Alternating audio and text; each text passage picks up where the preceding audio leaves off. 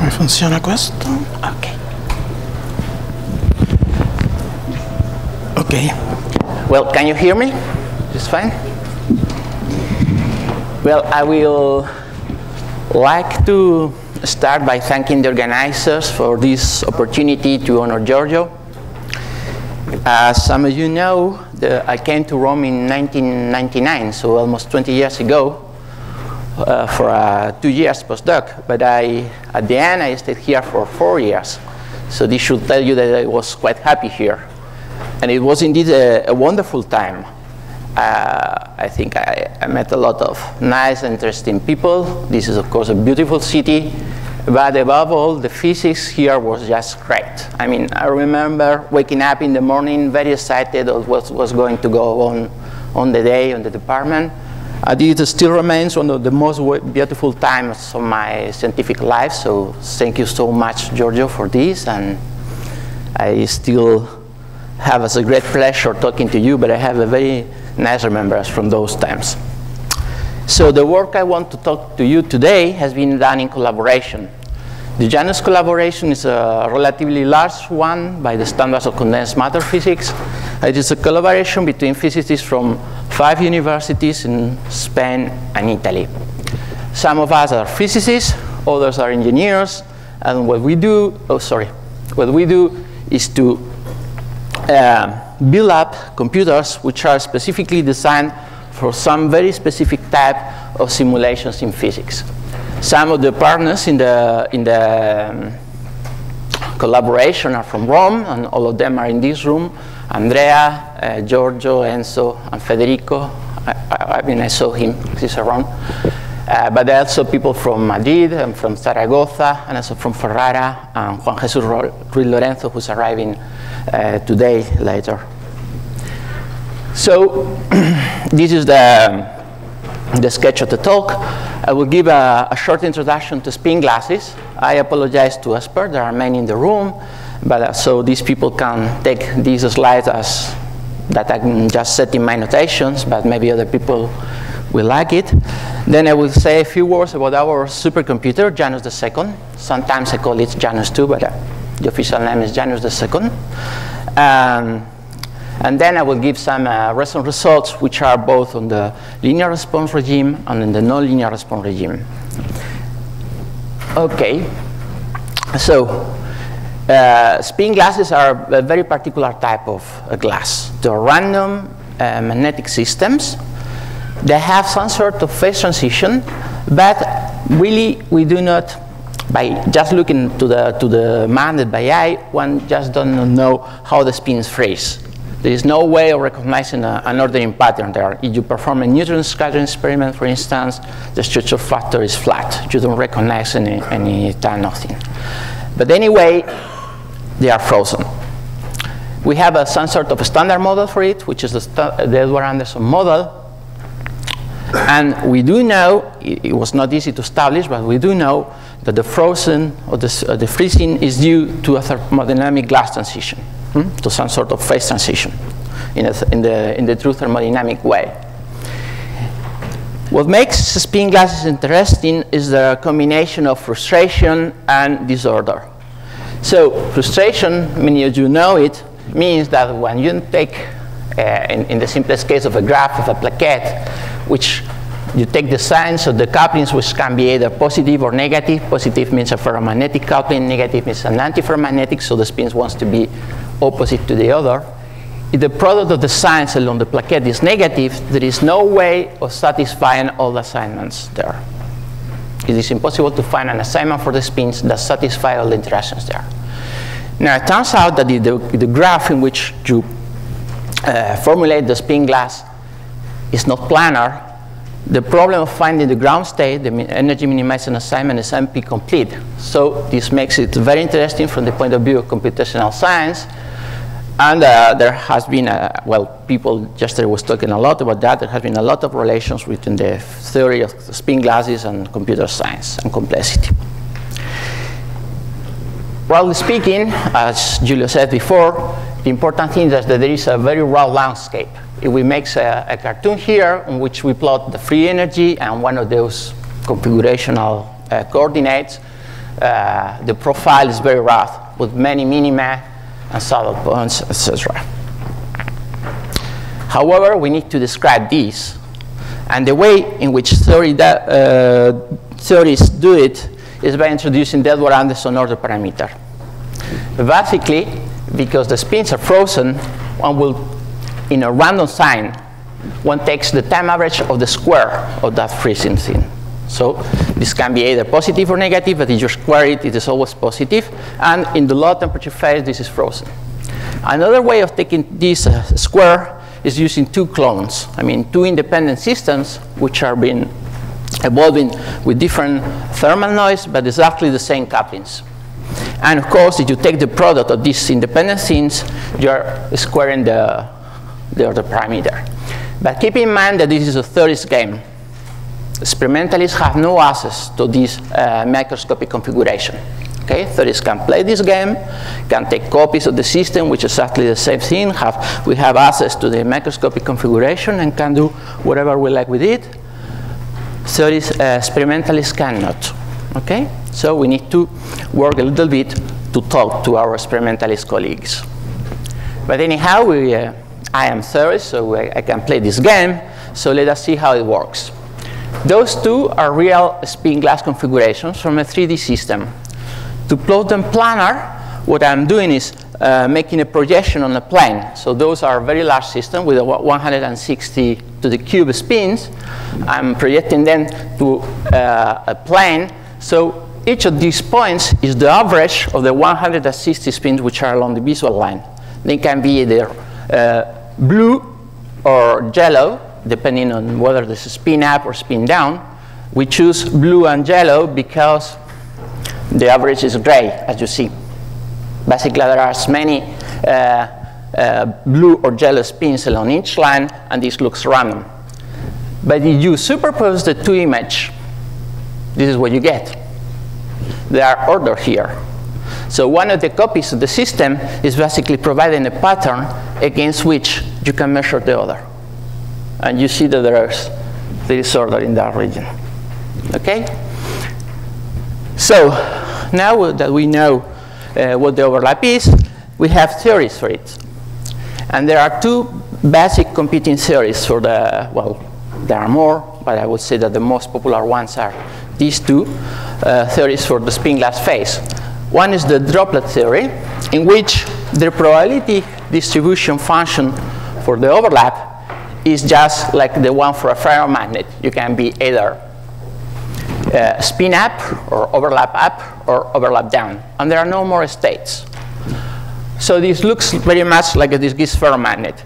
This theory basically arrives from the Migdal-Kadanoff approximation. Okay, this is the, the, the basic uh, um, theoretical support for it. And it, it is like uh, this ferromagnet, but there is a basic important difference. There are Goldstone bosons there. Hmm? Even if this is the discrete system, there are Goldstone bosons. Okay. On the other hand, we have Giorgio theory, which is the replica symmetry breaking. This arises from a, a mean field solution. And I would say that most people agree nowadays that this is valid about the upper critical dimension, which is 6. There is a real challenge to extend the theory below the upper critical dimension. There have been some attempts of making an epsilon expansion, but uh, of course uh, I defer any question to Giorgio. He's the expert on that. Um, one of the basic features is that if we look at the probability distribution function, we do have two delta peaks, like in the droplet feature, but we also have a continuous pair in between. Any overlap in between these two extremal values is possible. Okay? And also there's a very important difference with the droplet picture is that all the citations are space, space filling. Okay? However, these two pictures refer to equilibrium physics, which is not the experimental situation. In experiments, everything with a low enough temperature uh, is carried out in out of equilibrium simulation, in out of equilibrium situation. So just to explain what I mean, I'm uh, bringing here this uh, beautiful experiment by Hérisson and Ocio, in which they tried um, the fluctuation dissipation ratio. So what these people did is to take a spin glass at a very low temperature, below the, the critical temperature, they cool it in a field, in a small field, small enough to make sure to be on the, on the linear response regime, and then switch off the field. When the field is switched off, the magnetization starts to drop. However, the time, the, the, the, preparation time was varied a lot by two orders of magnitude, from say one minute to three hours. And then the record, both the decay of the magnetization and the correlation, the correlation function, which is the, essentially the magnetization at the, uh, the rate, uh, the product of the magnetization, the time which the field was switched off, and the magnetization at a later time. And as you see in the experimental results, in both cases, we are very far from an equilibrium uh, situation. The, of course, the response, which is the, the decay of the magnetization, is much cleaner than the correlation. There are huge errors in the, in the correlation function. But anyway, in both cases, one can recognize a very strong dependence on the waiting time. So this is clearly not a situation of equilibrium. And when one tries to analyze the situation, the only time scale that you can recognize in the problem is the waiting time itself.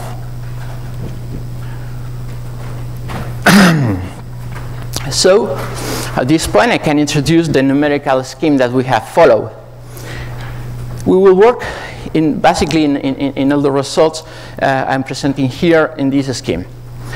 We will go to temperature which is below the glass one. We'll wait for waiting time, and then we'll switch on just experimentally switch off, but I will switch on a magnetic field at the waiting time. Of course, when you switch on the magnetic field, the magnetization, which was essentially zero, starts to grow, and we will record it. And uh, in this response function, there will be a linear piece, but also nonlinear contributions, okay? The linear piece was analyzed in this paper in by the Janus collaboration in last year. And the nonlinear response, we also analyzed it last year, but there's some new data, this, which are the ones I was telling you about today. We will also study correlation functions. That will be very important. And there are many correlation functions. The ones I'm describing here is the simplest one. Basically, the, this uh, two times correlation function uh, records how much memory you have at the later time t plus tw of the configuration at the initial time, at the preparation time t? As you see also in the numerical simulation, not only in the experiments, we have a very strong dependence on the correlation function with initial time. The black line here is supposed to be um, I mean, our estimate of the Edwards-Anderson the parameter, the equilibrium value at that temperature. Okay?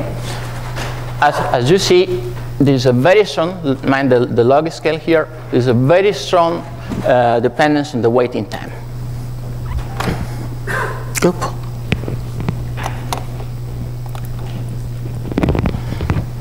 Ah, yes, okay.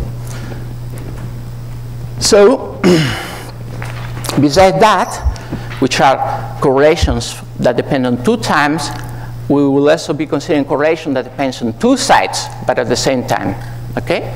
We would have is two clones of the system, which are, with them we form the replica film and then correlate replica fields at separate points. Mind that the two clones live at the same time. Okay? Those are, remember the, the, the picture I showed before of the, of the overlapping?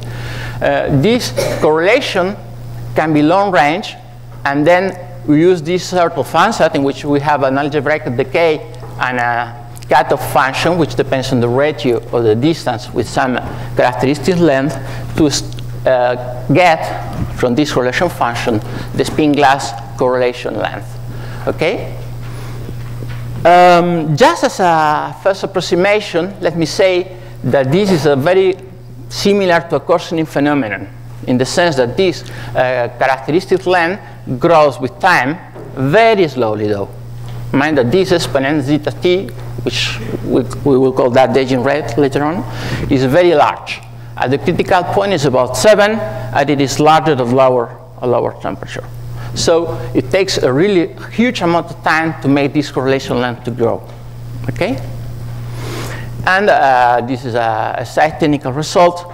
If one is doing a simulation, you should make sure that the size of the lattice should be large enough to both size effect. Okay? So we had two, basically two ends here, the lattice size and the, and the correlation length. One reach, one needs to make sure that the lattice, lattice is quite larger than, say, about seven times larger than the correlation length. So at this point, I can, uh, I'm ready to ask the questions that I, I we should be addressing here. The point is, as I said, we have uh, theories which basically um, regard equilibrium. On the other hand, we know that the experiments are not carried out in equilibrium. So one may ask if these theories are relevant at all for experiments, right?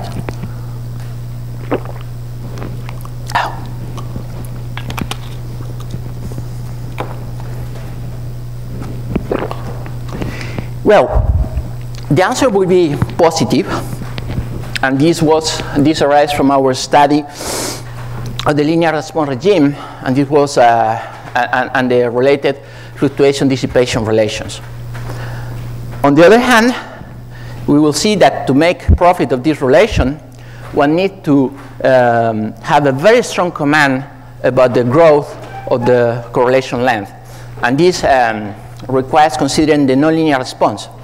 And in this sense, it is maybe worth calling a beautiful new set of experiments that is, are being carried out in Texas, in the, in the Austin group, in which the, the, the experimental accuracy is uh, huge as compared to any previous thing. So this is the, the work by Orbach and his collaborators. What these people do is they grow beautiful spin glass uh, samples on a film geometry. Okay, those are very large along the transversal directions, but they are a very short um, um, transversal dimension. This means that this is an experiment with a very well set uh, length, length scale. Now, using the nonlinear response, these people are able to record the time in which the spin glass correlation length reach the, the, the width of the film. So I think I might be wrong, but I think that this is the first time in the, in the field of, uh, of glassy physics in which on the same experiments, people are measuring both times and length scale on the same footing. Hmm? And those are uh, really very, very accurate uh, experimental results in which they find some sort of power law or cosine uh, growth of the correlation length with an exponent that it depends on the temperature, but the prefactor is huge. Let me remind you that in all the simulations before by the Janus group, but also by Matteo Lulli and Giapelisetto and Giorgio, uh, everybody finds value here around 7. While in the experiment, they're finding a, a value which is much closer to 10. Okay? So what's going on here? Okay, this was this will be one of the questions uh, I will try to address today. Well, it turns out that to make any progress, we have been we have needed this uh, beautiful computer, this Janus II computer. So let me now tell you a little bit about that uh, machine. So the machine is quite peculiar because the, uh, the processing units are not CPUs nor GPUs, but field programmable gates array. So those, as some of you know probably, those are the things that engineers use to simulate chips. Hmm? Before making a silicon chip, you need to simulate it. And there are these uh, beautiful things in which you can program how the chip, the real chip will work if you uh, print it on silicon. And this is what we did. We basically, um, well, not me, but other people in the collaboration, they basically uh, prepare a chip which was uh, designed on purpose for this sort of simulation. This is why it can, it's not a silicon chip, it's, it's, a simulation of a chip, but anyway, it delivers tremendous uh, computing power. The, we have 256 of these uh, wonderful computing units.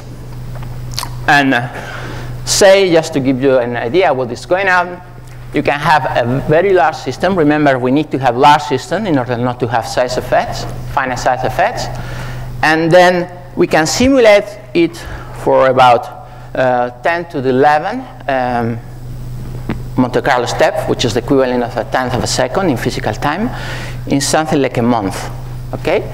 The previous generation, Janus first, could do about the same, but at a much smaller uh, lattice, something like uh, up to 80. I mean, half of the size.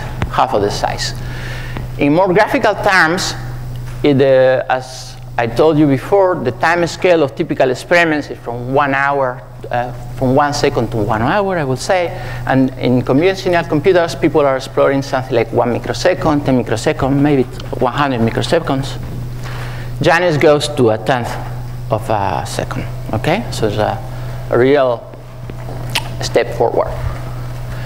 However, ask rightly, what is uh, what we gain? I mean, a mere factor of two doesn't seem so much, going from L to the 80 in, that we did in L equal 80 that we did in 2008 from 160 that we have just done.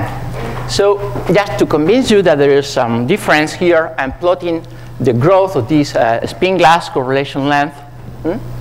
The horizontal line here marks the starting of the size effect, so you shouldn't trust on a L equal 80 system, you shouldn't trust anything which happens about this uh, black line.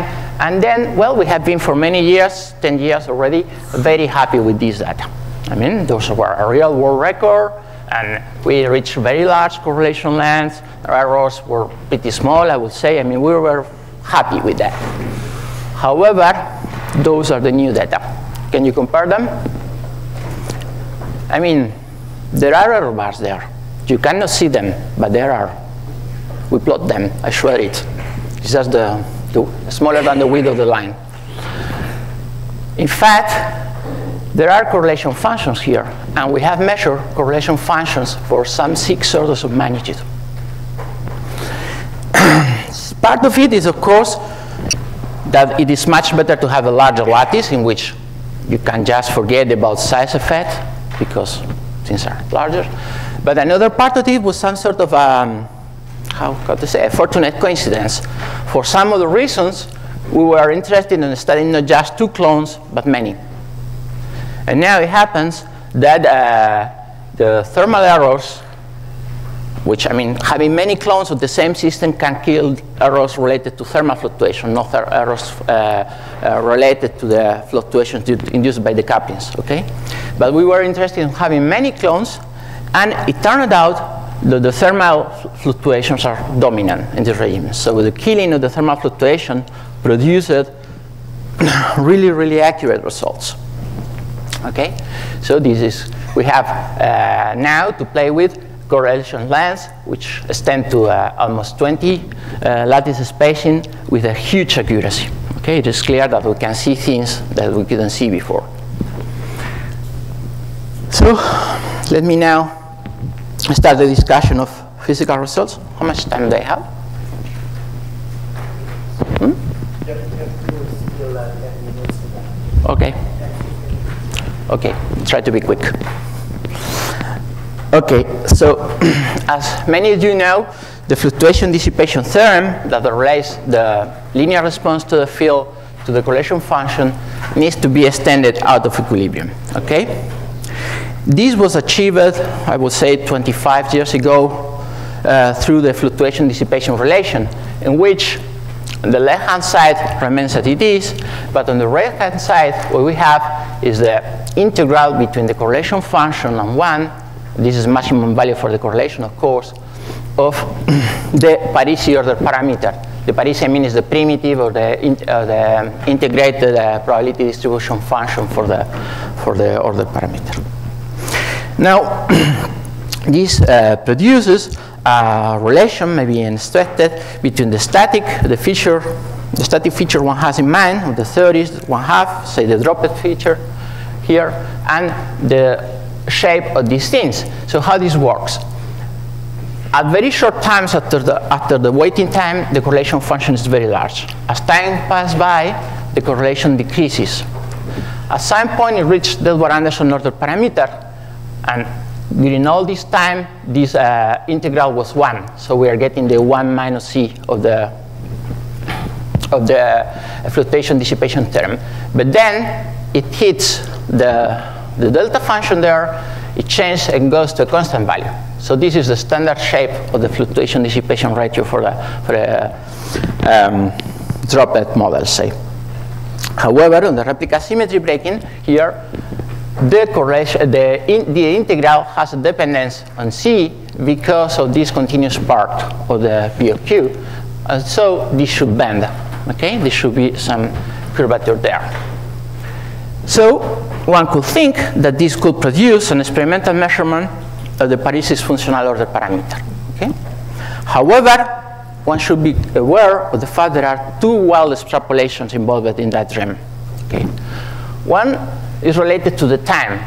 It is better to think of the correlation function than on the time, but remember that there is a one-to-one -one correspondence. I mean, as time goes by, the correlation function decreases. So, on the left-hand side, for these uh, the Cugliandolo, Kurchan, Franz relations, on the left-hand side, the waiting time, the experimental waiting time, should go to infinite. Okay? On the right-hand side, which is this is the this is the experimental world, say this is the theoretical world. On the right-hand side, in the theoretical world, the size of the system should be infinite too. And both limits are essentially impossible to, to consider. On the experimental side, if you, you want to have a look to the, to the data by Hérisson and Ocio, you see this is the ratio, the fluctuation ratio they got, and how it varies with the waiting time. As you see, the waiting time varies a lot, say by two orders of magnitude, and see how, this, how small the evolution is. And these people needed to extrapolate to infinite time here, which is here. Okay, so this is still a rather long extrapolation. On the third side of the, of the thing, one needs to compute the, the POQ, the probability distribution function, and use it to compute the integrals. And those are the best results available worldwide, I would say. Those are the ones from the Janus group, in which we compute the POQ for different system size. And even if the results are very clear and they point to a replica symmetry breaking scenario, etc., you will agree that there is a very large size dependence there. So what can we do? Well, maybe we can be more modest. We can just use the, the limiting expression and try to use it on a finite system and a finite time. So in this way, what we are getting is a relationship between correlation function and time. Remember that correlation function and, waiting, and probing time is about the same thing, and an effective system size. Okay? So we have very nice results for this uh, fluctuation dissipation ratio. We have um, the pieces, I mean the high correlation part in which we have the linear behavior, and then we have a departure from the from the theorem, the fluctuation dissipation theorem, that uh, goes to lower correlation, meaning longer time, when uh, the correlation grows and time passes. Okay? What we are trying to do is trying to relate these shapes obtained at finite times and finite correlation lengths with equilibrium results on finite sites. So we have an statics dynamics scenario, uh, this scenario. Now, there have been attempts at doing that before, of course. Some by ourselves, other by Barrat and Berthier, also uh, Cugliandolo and Marco Picco have done it. And many of those attempts, which were deemed to be successful, tried to relate the effective size to the correlation length at the shortest of the two times. Okay? So we have tried to do that and tried to get what the prediction of this effective uh, size will be. Imagine that the, by imagining that the, the, effective size was related only to the initial, to the correlation length and the initial time when the, when the, excuse me, the magnetic field was uh, switched on. As you see, we failed. So we must assume that there are two length scales in the problem. We have the correlation length at the initial time and, and the final time. And what we found is that the effective system size, as time goes by, saturates to be essentially proportional to the correlation length at the longest of the two times. Okay, we have an initial transient which, to be open, we don't understand. This is, to be, to be honest, is what we, we don't understand very well, is what happens exactly at the point where the, uh, the, the, the, curve first deviates from the fluctuation dissipation theorem. This we don't understand very well, but the situation later is rather clear. So we have an initial time in which basically, as those previous work found, uh, the relevant length was the correlation length at the initial time, but then as time goes by, the, the ruling length scale is the one at the proven time, okay? As time goes by, the correlation length keeps growing, and this is the, the dominant uh, length scale in the problem. And we even have parameterized in a rather simple way the crossover between the dominance of the two length scales. Okay, so I can give you some conclusions about this part. So we have a new interpretation of this old dream of getting the Parisi functional order parameter from the fluctuation dissipation experiment.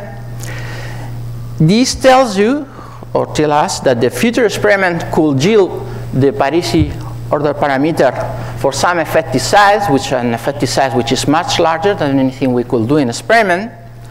However, the question will be which effective size? And to do that, we shall need a very strong command on the time behavior of the correlation length. So the question is, we are providing, so to say, uh, microscopic or theoretical estimate of this correlation length, and one could ask whether or not this is um, consistent with the microscopic determination that people find, experimental, experimental people find from the nonlinear responses. Okay, so this uh, takes me to my second question. And let me start from this plot that we have already seen. We have this very precise, very, very new precise results of the correlation length as a function of time, which, if one forgets about the short time um, finite behavior, looks very much linear on a log-log scale. Okay? They look linear, but they are not. I mean, if one just try to, to make a very stand, simple fit in which one considers a quadratic dependence and just look at this coefficient C2. And we find that this coefficient C2 is, if we plot this as a function of the uh, temperature in units of the critical temperature, what we find is that the precisely at the critical temperature C2 seems compatible to be zero, but in the low temperature phase, there is a, a positive curvature. As far as I know, this is the first time that one can really measure this uh, curvature from numerical results. So we have found that the aging rate, this exponent zeta, depends on the length scale. And so if we want to compare with experiments by Orbach, the question arises, at which length scale should compare her? So the question is not so difficult to, to address because we have a, a film thickness I mean, these people, uh, Ray and collaborators, have a film thickness that vary between 9 nanometers and 20 nanometers, and we know is the typical manganese-manganese distance. So a simple division tells you that they are basically working at what we will call 38 lattice spacing. So our problem is extrapolating our results, which are computed as a, a length scale of 12 lattice spacing to 38. I mean, this is an extrapolation, of course, but it's not a huge one. I mean, 38 is much closer than infinity. It's much easier to extrapolate to 38 than to extrapolate to infinity. And we have considered two possible extrapolation schemes. One I will call the, the Saclay divergent ansatz. Basically, it's a crossover to activated dynamics. We have been, uh, Julia was talking us about uh, the activated dynamics before. And in this ansatz, basically, uh, what people think is that the, eventually the aging rate will be divergent, like a power law uh, with a, an exponent psi over the, of, of the correlation length. However, this thing is given by actually by the ratio of two lengths. One is the Josephson length, which would be the analogous of the correlation length for a, uh, for a phase with the Goldstone bosons, and the other is the spin glass correlation length. So what really goes to the power of psi is the ratio of the two lengths. Hmm? Because this length scale, this Josephson length scale can be very large close to the critical point. The ratio can be very small until the, the, the glassy correlation length really grows up. Okay? In the experimental fits I have seen to this, by the Saclay group, to this uh, uh, they find exponents which are close to 1, around 1. Okay? In mean field computations, I'm making the, the rather dirty assumption that you can take results at six dimensions like mean field. You will say that psi should be around 2. But uh, although this is the preferred scaling droplet, uh, as, as, as, the scaling which is preferred by the, by the droplet theory, I will say that uh, there are no clear uh, replica symmetry breaking predictions for this behavior. Okay? On the other hand, we have considered a convergent ansatz. By convergent, I mean that in the limit of the infinite correlation length, the aging rate will not be infinite. Okay?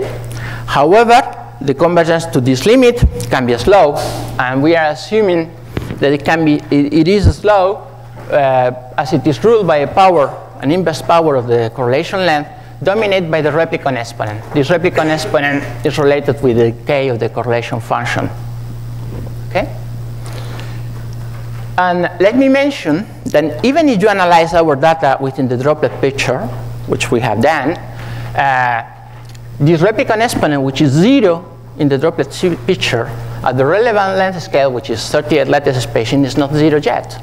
It's of the order of 0.28, while the replica symmetry breaking prediction is for about, I would say, 32.32 or something. So the two, the two theories are not really different on that point. I mean, they are different on the limit of an infinite uh, spin glass correlation length, but not on that limit. Okay? So it turns out that both ansatz can fit data very well, very, very well. However, the, the prediction at the length scale of 38 lattice spacing, uh, uh, spacings is very different. Okay? If we uh, plot our results in that way, I mean, we take out the, the temperature dependence to find a constant behavior, we find that the convergent ansatz provides an extrapolation, I mean, an extrapolation to 38, which is very close to 10. Pretty much temperature constant. Letting aside what happens very close to the critical point, of course, but it is, pre pretty much constant and close to 10. This is exactly what the, the Texans, our Texans friends found. found. And the divergent ansatz instead produces a behavior which is uh, growing more violently with temperature as temperature is lower, and the values um, extrapolated are significantly larger than the 10 that were found in the experiment. Okay? So, time for some conclusions we had this uh, wonderful computer, Janus II, which are approaching us to the time and length scale which are really proved by experiments. We found that the data for the aging rate can really be fit with the both ansatz, for the convergent one and the divergent one. However, at variance, I would say, with the other attempts to use the divergent ansatz, the exponent psi turns out to be something like 0.4. I mean, people were finding before something like 1, closer to 1 rather than 0.4. Uh, the two ansatz cannot be distinguished at the numerical level, but if you want to compare our results with experimental ones, the convergent ansatz really seems to do a, a better job. This is only for amateurs of spin glass amateurs, or lovers, how do you say in English? Lovers? Um, fans, okay, spin glass fans. There are, there are two renormalization group fixed points and the relevant for us. The one is the one at the critical point, the other one is at zero uh, temperature. And uh, the numerical data has allowed us to really resolve the crossover. And uh, let me also state that the numerical accuracy is all important here. And it has also allowed us to study some new memory effects like a Mpemba effect in, in spin glasses. And I would say this is all. So happy birthday, Giorgio. And thank you so much for this wonderful collaboration.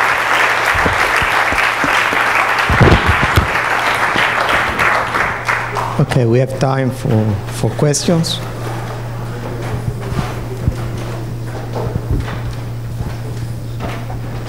Just a little advertising, say, we have some first results about uh, the crossover from two to three dimension because this film geometry of experiment is important.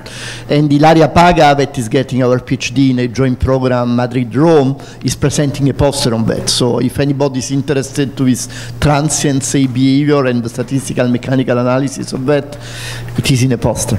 Thank you. I should have said that, yes. Any other questions?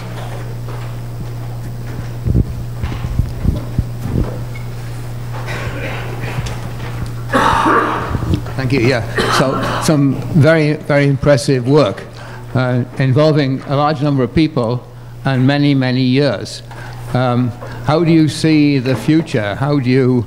Uh, I don't see at the moment that people in, who believe in the droplet picture are being convinced by all these things. What is the end point, and and what do you hope to be the uh, the follow-on uh, of applications in physics. After all, the spin, the spin glass materials have never been applied. What's been applied have been the mathematical techniques that it's developed. So where, how do you see the, the future result? Uh, well, I mean, the, the, uh, the importance of the final result. Well,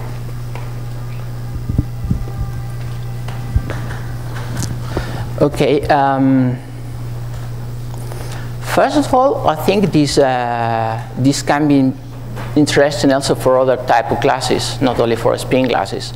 For instance, I mean, as you know, uh, getting a length scale in a, a, typical length scale, say in a supercooled liquids, has been a, a very difficult and a challenging problem for many years. So spin glasses still stand probably as the only material in which you can get a very clear signal of a growing length scale both in, at the theoretical and experimental side. So I guess only as a love tree of uh, glassy dynamics is probably worth studying. Also, there is experimental progress. I mean, those new experiments by, by, the, by the Texan peoples are giving a very accurate results. I mean, the, they were quoting seven themselves as the exponent for uh, this uh, exponent for the aging rate. And now they have so much more precise result and they can say, okay, I cannot, they cannot maintain any, any longer the distance. So I think this is experimental progress. And in as much there is an experimental progress, I think uh, theories should at least try to understand those, those experiments. You, you see that the technical developments in the computing can have the same implication for other areas as the analytic developments have done. Sorry. Did you hear? Uh, yes, yes, I could. Look, at don't know. Yeah. Look, at don't know.